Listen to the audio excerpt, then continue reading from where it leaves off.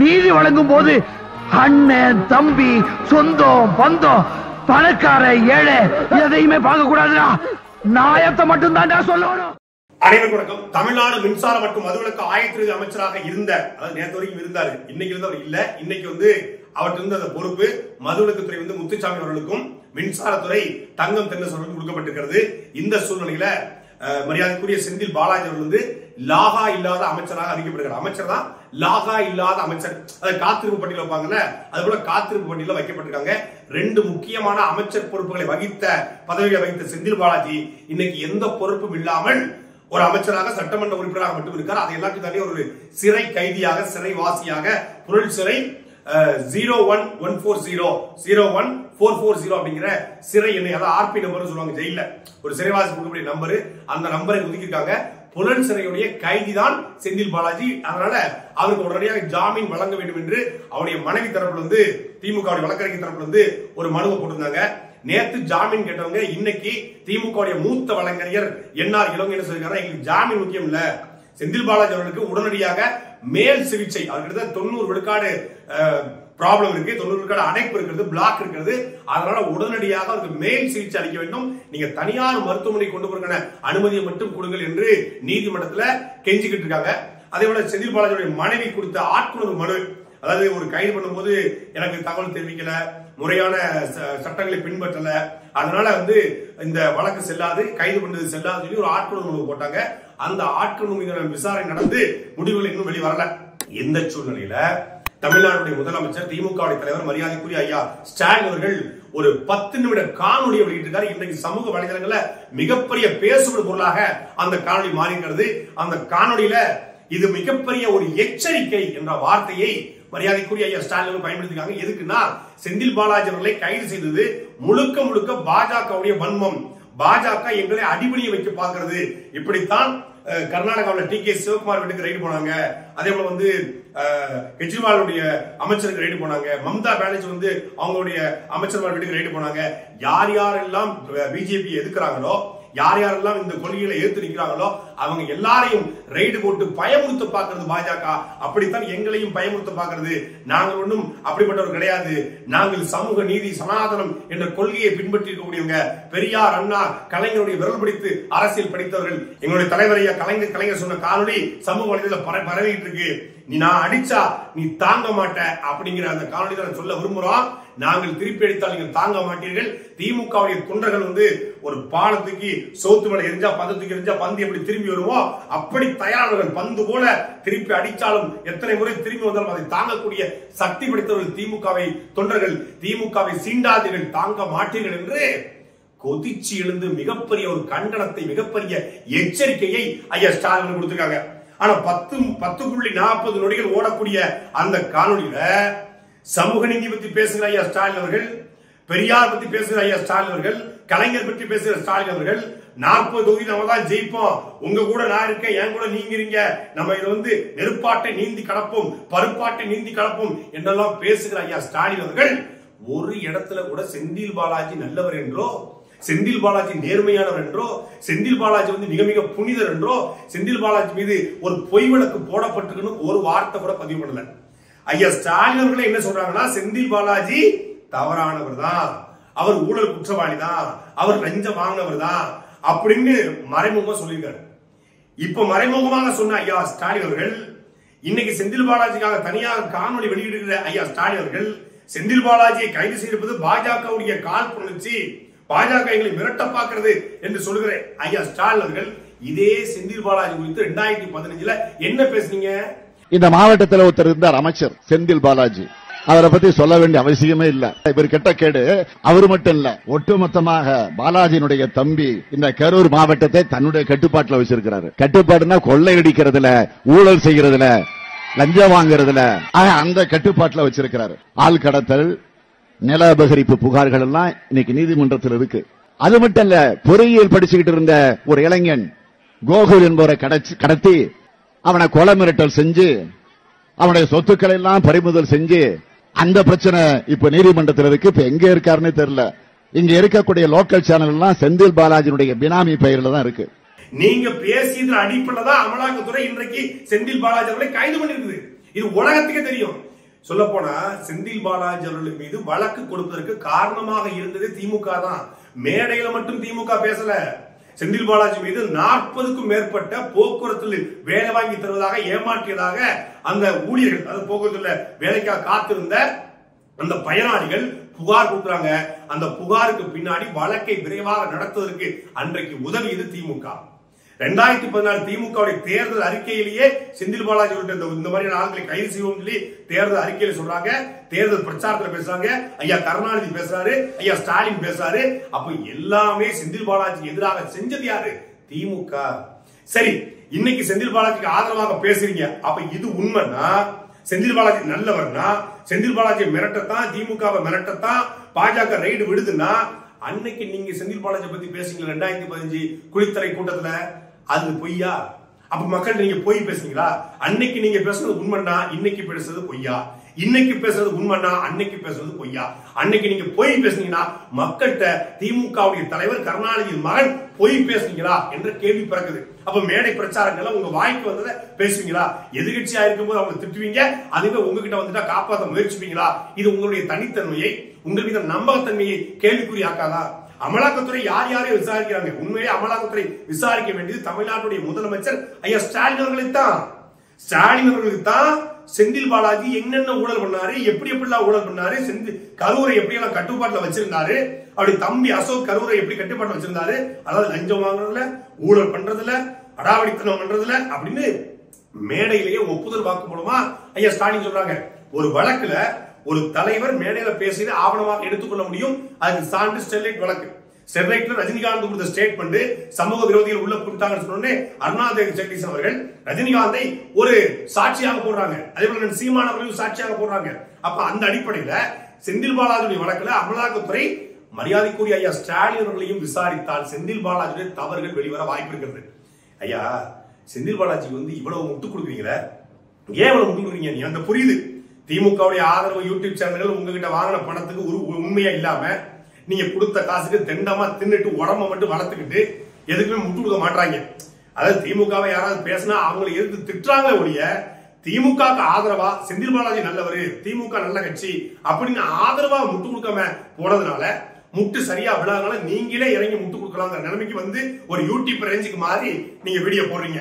அது வந்து உங்க திமுக ஆதரவு யூடியூப் சேனல் எவ்வளவுமே சரியில்லைங்கிறது இதுல இருந்து நமக்கு தெரிய வருது.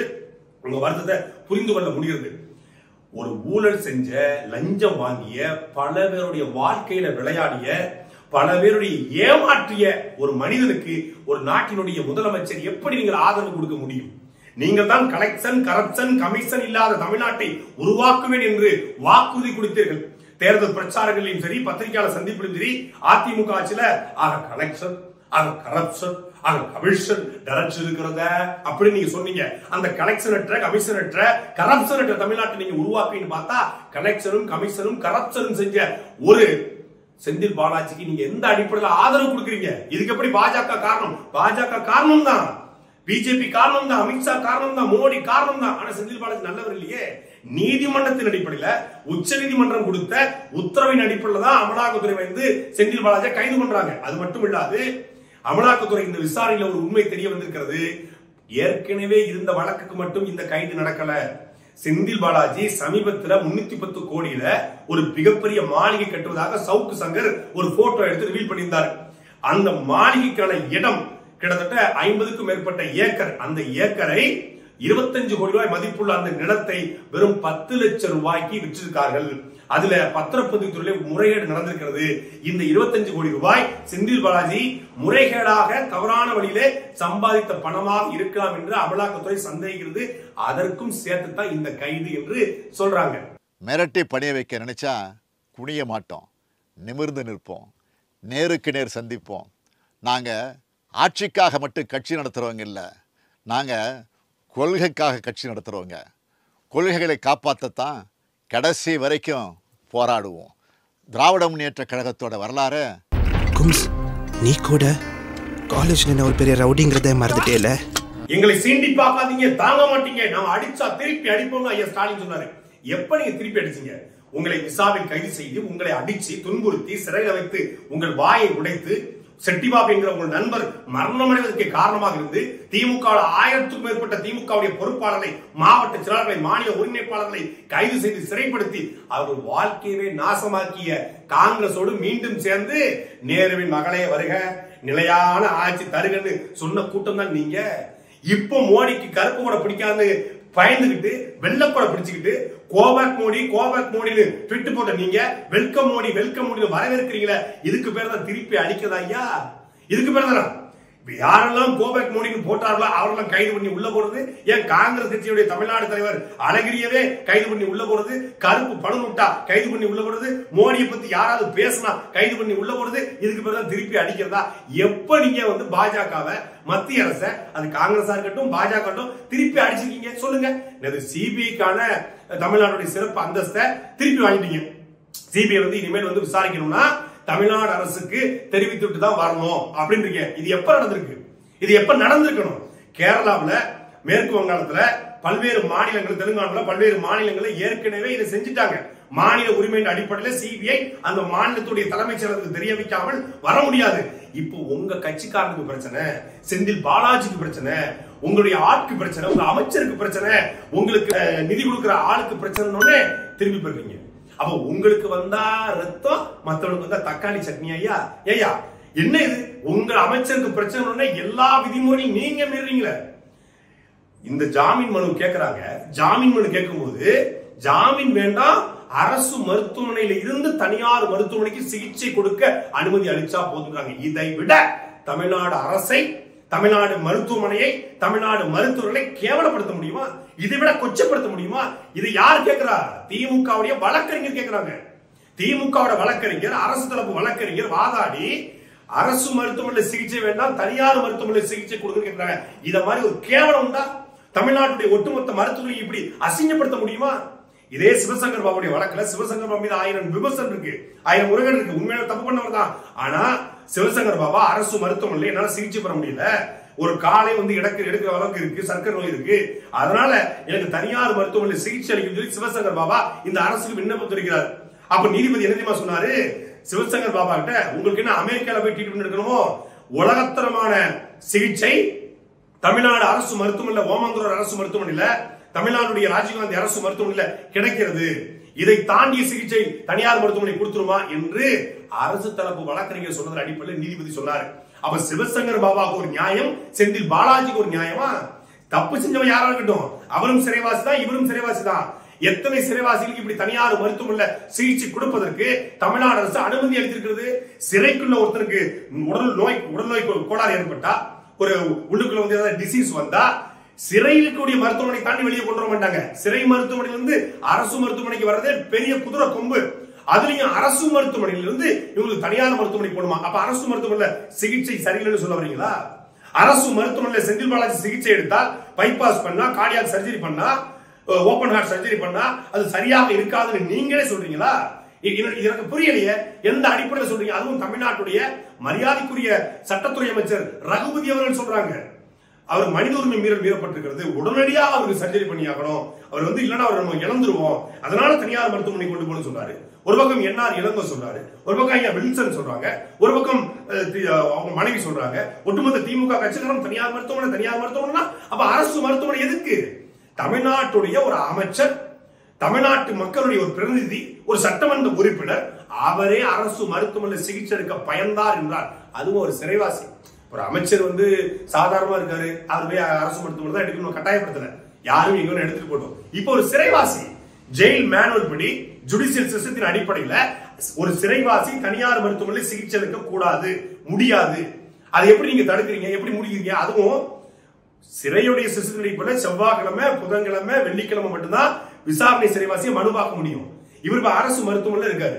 அரசு மருத்துவமனையில அதுவும் தொண்ணூறு விழுக்காடு கார்டியாக் ப்ராப்ளத்தோட உட்கார்ந்துருக்காருன்னு சொல்றாங்க. ஆனா சட்டத்துறை அமைச்சர் ரகுவி சொல்றாரு செந்தில் பாலாஜி ஒரு நாளைக்கு மூணு பேர் மனு பார்க்கலாமா? அவங்க மனைவி குடும்பத்தார்கள் எப்ப வேணாலும் பார்க்கலாமா? எப்படி எப்ப குடும்பத்தார்கள் எப்ப வேணாலும் எப்படி பார்க்க முடியும்? ஒரு சிறைவாசி அவர் கைது செய்யப்பட்ட ஒரு கைதி ஒரு கைதியை ஒரு குடும்பத்தார் எப்போது வேணாலும் எப்படி பார்க்க முடியும்? ஒரு அட்டண்டர் இருக்கலாம். மருந்து வாங்கிட்டு வர தண்ணி கொடுக்க சாப்பாடு கொடுக்க ஒரு அட்டண்டர் இருக்கலாம். அந்த அட்டண்டரும் காவல்துறையின் பார்வையில தான் இருக்க முடியும். அதை தாண்டி ஒரு நாளைக்கு மூணு பேர் மட்டும் தான் பார்க்க முடியும். அதுவும் திங்கக்கிழமை புதன்கிழமை வெள்ளிக்கிழமை. திங்கள் புதன் வெள்ளி மூணு நாளை தவிர்த்து மற்ற நாள் மனு பார்க்க கூடாது. ஆனா மருத்துவமனையில் இருக்கிற செந்தில் பாலாஜிய யார் யாரோ வந்து பார்த்துட்டு போறாங்க? எத்தனையோ பேர் வந்து பார்த்து போறாங்க குடும்பம் மொத்தமா இருக்கு. அப்ப உங்களுக்கான ஆளு உங்க அமைச்சர்னா சிறையுடைய விதிகளை நீங்க தளர்த்திருவீங்களா? சிறை மேனுவலை நீங்க மாத்துவீங்களா? அப்போ சாமானிய மக்களுக்கு ஒரு நீதி உங்க கட்சிக்காரருக்கு ஒரு நீதியா பணம் படைத்தவனுக்கு அமைச்சராக இருந்தவனுக்கு ஒரு நீதியா? இது எப்படி சரியான சமூக நீதியா இருக்க முடியும்? இது எப்படி திராவிட மாடல் ஆட்சியா இருக்க முடியும்? சட்டத்தை உங்களுக்கு ஏத்த மாதிரி நீங்க வளர்ச்சிப்பீங்களோ? இதெல்லாம் ஒரு பக்கம் இருக்க. இன்னொரு பக்கம் இன்னைக்கு காலையில மனித உரிமை ஆணையத்துடைய உறுப்பினர் செந்தில் பாலாஜி போய் சந்திக்கிறார்.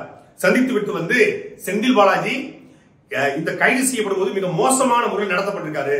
கிட்டத்தட்ட அவருக்கு வந்து மனித உரிமைகள் எதுவுமே கடைபிடிக்கப்படல. அவரை தரையில போட்டு தர தரன்னு இழுத்தாங்க. கைகளை பிடிச்சு இழுத்தாங்க. காலை பிடிச்சு இழுத்தாங்க. அப்புறம் வந்து செந்தில் பாலாஜியுடைய காதல வந்து வீங்கி இருக்கு அவருடைய முகம் வந்து வீக்கமா இருக்கு. கொஞ்சம் காயம் போல இருக்கு. அவர் வந்து ரொம்ப டார்ச்சர் பண்ணப்பட்டிருக்காங்க. செ- அமலாக்கத்துறை செந்தில் பாலாஜி அடிச்சிருக்காங்க துன்புறுத்திருக்காங்க ரொம்ப மோசமா நடத்திருக்காங்க திட்டிருக்காங்க என்று மனித உரிமை ஆணையத்துடைய உறுப்பினர் சொல்றாரு. யாரா அந்த மனித உரிமை ஆணையத்துல உறுப்பினர்னு பார்த்தா திமுகவுடைய முன்னாள் செய்தி தொடர்பாளர் கண்ணதாசன். வேட்டி சட்டை போட்டா திமுகவுடைய செய்தி தொடர்பாளர். இவர்தான் நியூஸ் எட்டின் புதிய தலைமுறை. நியூஸ் செவன்ல உட்காந்துட்டு ஆத்து ஆத்துன்னு ஆத்துவாரு. ஆயிரத்தி தொள்ளாயிரத்தி நாற்பத்தி ஏழாம் ஆண்டு அப்படின்னு ஆரம்பிச்சு பேசிட்டு இருப்பாரு. நாங்கள் இந்த லாபிட்ஸ் பூகாவிலே அந்த கொட்டு பலையிலே நாங்கள் என்ன செய்து கொண்டிருந்தோம்? அட்டாத்துறை அட்டு முழங்கிய பொழுதில் என்றெல்லாம் பேசக்கூடியவர் இந்த கண்ணதாசன். அது அன்னைக்கு வேட்டி சட்டை போட்டுக்கிட்டு அஹ், கொள்கை உறுப்பு செயலராக செய்தி தொடர்பாக பேசுற கண்ணதாசன் இங்க கோட் சூட் போட்டு வந்து எப்படி வந்து நம்ம இந்த அரசு படத்துல வர்ற வடிவேலு அடிச்சா ஒரு அப்பாயின்மெண்ட் ஆர்டர் நான் அடிச்ச பண்ணி கடவுள் கேட்டுச்சு கவர்மெண்ட் கேட்டுச்சுடா அப்படிங்கிற மாதிரி கோட் சூட் போட்டு கண்ணாடி போட்டு பிச்சுமணி மாதிரி வந்து நின்னுட்டு மனித உரிமை ஆணையராக இவரு. இவர் திமுகவுடைய பொறுப்பாளர் திமுகவுடைய கட்சிக்காரரு. இவர் மனித உரிமை ஆணையத்துல ஒரு உறுப்பினரா இருக்காரு போல. உடனே இவர் போய் நின்னுக்கிட்டு அங்க அவர் வந்து அடிக்கப்பட்டிருக்காரு துன்புறுத்திருக்காங்க டார்ச்சர் பண்ணிருக்காங்க. அவர் இது பண்ணிருக்காங்க. இதே மனித உரிமை ஆணையத்துறை உறுப்பினர் சொல்லக்கூடிய இந்த மரியாதைக்குரிய கண்ணதாசன் அவர்கள் இங்க பல்குடிக்கு பல்வீர் சிங் அம்பாசதர் பல் கொடுங்கினாரு. கிட்டத்தட்ட நாற்பதுக்கும் மேற்பட்ட சிறைவாசிகள் தண்ட விசாரணை சிறைவாசிகள் வந்து பாதிக்கப்பட்டாங்க பலரோட பல்ல புடுங்கி ஆண்டுப்பை நசுக்கி விதைப்பையை நசுக்கிறாங்களே அப்ப நீங்க என்ன புடுங்க போயிருந்தீங்க ஐயா? கண்ணதாசன் அவர்களே அவர் பல் கொடுக்க போடும்போது நீங்க என்ன புடுங்க போயிருந்தீங்க?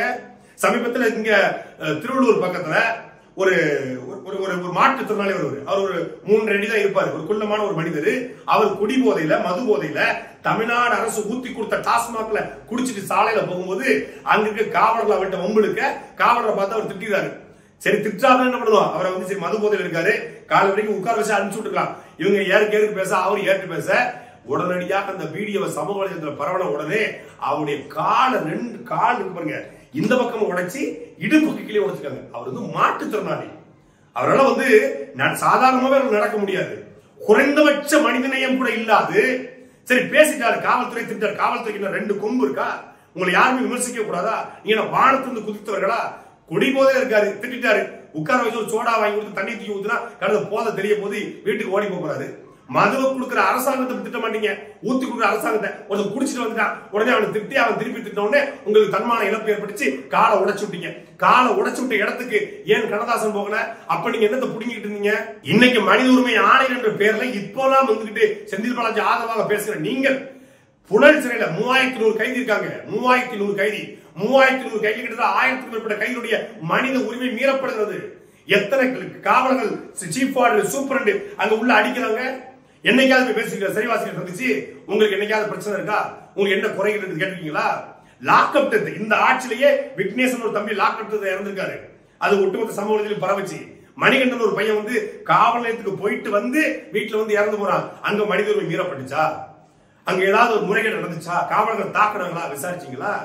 எத்தனை மட்டும் விசாரிச்சிருக்கீங்க? தமிழ்நாடு முழுக்கூடிய இருபத்தஞ்சு சிறைகள்ல நூத்தி இருபத்தி நூத்தி முப்பத்தி ரெண்டு சிறைகளுக்கு போய் என்னைக்காவது மனித உரிமை ஆணையங்கள் பேர் நீங்க விசாரித்ததுண்டா? திமுக கட்சிக்காரங்களால எத்தனை பேர் தாக்கப்பட்டிருக்காங்க அடிக்கப்பட்டிருக்காங்க. அதெல்லாம் நீங்க விசாரிச்சிருந்தா உங்க கட்சிக்காரனுக்கு ஒண்ணு உங்க அமைச்சருக்கு ஒண்ணு ஓடி வந்து நிக்கிறீங்க. அது எப்படியா? நீங்களே பாவம் ஒப்பீங்களா? நீங்களே எடுப்பீங்களா அப்படிங்கிற மாதிரி இவங்களே வந்து கட்சிக்காரனா இருப்பாரா? இவரே மனித உரிமை ஆணையராக இருப்பாரா? இவங்க அடிஸ்டார்னு வந்து சொல்லுவாராம். அமலாக்கத்துறை வந்து செந்தில் பாலாஜி கொலகாரன் கொள்ளக்காரன் வரல.